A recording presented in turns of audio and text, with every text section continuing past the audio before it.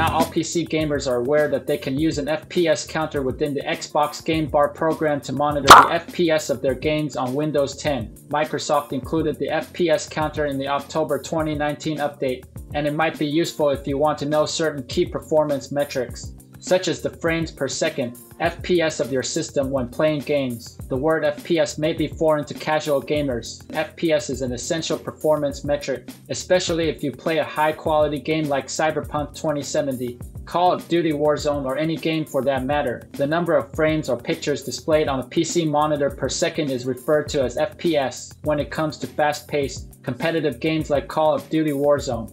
Having an FPS higher than 60 FPS is preferred, although 60 FPS is also acceptable when playing games that require quick reactions. Anything slower than 60 frames per second should be avoided. The greater the FPS, the quicker and smoother your gaming activities will be. To enable the installed FPS counter, make sure your Windows 10 operating system is fully updated. The built-in FPS counter was included by Microsoft as part of the October 2019 Xbox Game Bar update. If you haven't already done so, you may manually upgrade your Windows 10 operating system now and then install the Xbox Game Bar program from the Microsoft Store. After upgrading the program, restart your computer to ensure that the changes take effect. After installing the most recent Xbox Game Bar app, Follow these steps to see the FPS counter on your keyboard. Press the Windows button. Search for Xbox Game Bar click on Xbox Game Bar. Select the Performance section when the Xbox Game Bar should show at the top of the screen. A small window should display your FPS and other information such as CPU,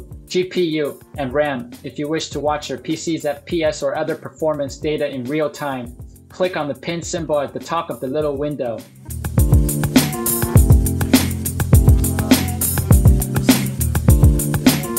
That's it. If you think that this video is helpful, we would appreciate it if you can leave a like, subscribe to our channel, or share this video to your friends. This can greatly help in making sure that Google's algorithm can find and recommend this video to others.